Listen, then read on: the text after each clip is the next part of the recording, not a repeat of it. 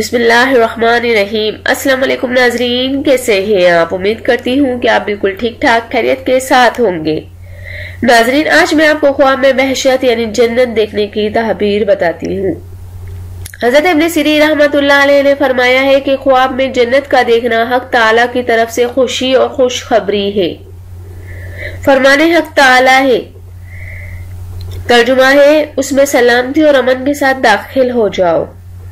اور اگر دیکھے کہ بحشت کے میوے لیے یا کسی نے دیے اور کھائے، تو دلیل ہے کہ جس قدر میوے کھائے ہیں، اسی قدر علم و دانش اور دین کی خصلت سیکھے گا، لیکن فائدہ نہیں اٹھا سکے گا۔ اور اگر کوئی شخص خواب میں ہوروں کو بھی دیکھے، تو دلیل ہے کہ نزا کا وقت اس پر آسان ہوگا۔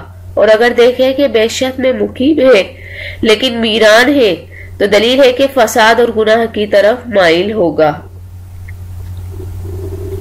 اور اگر خواب میں دیکھے کہ بحشت اس پر بند کر دیا گیا ہے، تو دلیل ہے کہ اس کے ماں باپ اس سے ناراض ہیں۔ اور اگر دیکھے کہ بحشت کے پاس جا کر واپس ہوا ہے، تو دلیل ہے کہ موت کی بیماری میں گرفتار ہوگا، لیکن شفا پائے گا۔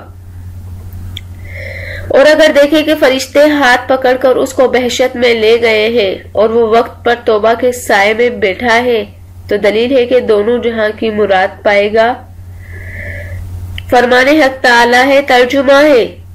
ان کے لیے خوشخبری اور اچھا ٹھکانہ ہے۔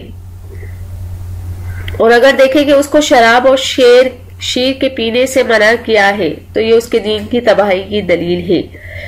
فرمان حق تعالی ہے، ترجمہ ہے، اور جو شخص اللہ کے ساتھ شرک کرے گا، تو اللہ نے اس پر بحشت کو حرام کر دیا ہے۔ اور اگر دیکھیں کہ بحشت کے میوے اس کو کسی نے دیے ہیں تو دلیل ہے کہ اس کو